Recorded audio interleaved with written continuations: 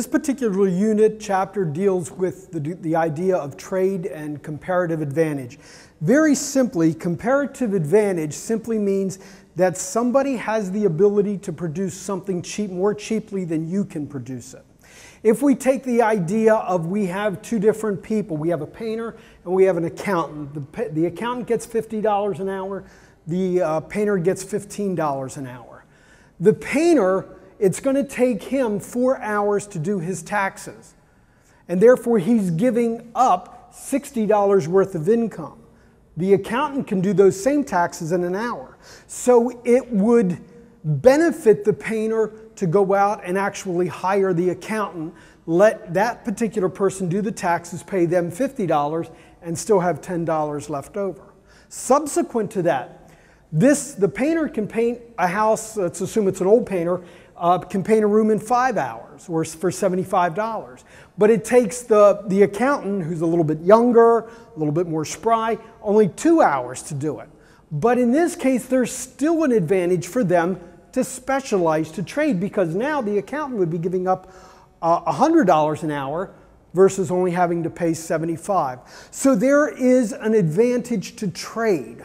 There's an advantage to say, even though I can produce what you're making, you can do it more cheaply than I can.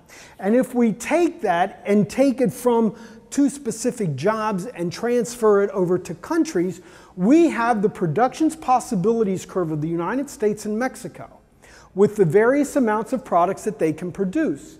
In this case, the United States decides that it can produce both avocados and soybeans, the same as Mexico. It decides that without trade, that society wants 33 avocados and 19 soybeans. Subsequent to that, Mexico wants 24 avocados and society, their society only wants nine soybeans. So therefore, we have a total amount of products of 85 goods. If we add up the avocados and soybeans of both the United States and Mexico, we have 85 goods. They can both produce the same goods, but what we have to say is, do, either of them have a comparative advantage over the production of any particular good? And in order to do that, we have to ask ourselves a question. If the United States produced all soybeans and no avocados, what would be the ratio? What would they be giving up in order to do that? Well, if they produce, sorry, if they produce all avocados and no, no, soybeans, they can do 90. If they can do all soybeans and no avocados, they can produce 30. So therefore, this is a three to one ratio, meaning that for every soybean they produce, they have to give up three avocados, or for every avocado they produce, they have to give up a third of a soybean. Uh, and subsequent to that, Mexico, if they produce 15 soybeans and no avocados, uh, or all avocados and no soybeans, they can do 60, or a 4 to 1 ratio. In other words, that they can make four avocados to one soybean. And therefore, there is a comparative advantage. The soil's better, the sun is better, the weather climates are better to do that. And therefore, they're willing to trade. They're willing to come together and sit down at the table and say, yes, there is an advantage for us to trade, provided, provided that the United States can get more avocados than three.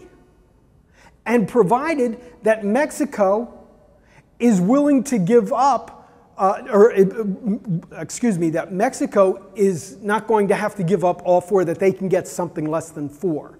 So we know now that they, that they, they can produce. If we take this and uh, take a look at this, we can see now that through specialization, we have 90 ex, we have a total of 90 products, or an excess, a marginal amount of products of five we can, through specialization, we can get five additional products. And to see how this would be on each of their individual, on each of their individual um, productions possibilities curve, if we take the United States, and right now the United States, without specialization, is producing 33 avocados and 19 soybeans,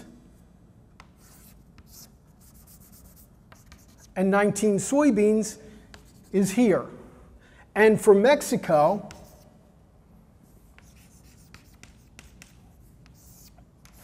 for soybeans and avocados, they want 24 avocados and 9 soybeans.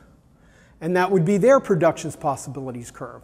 Well, if the United States specializes now in the production of soybeans and trades them to Mexico, it's going to produce 30 soybeans.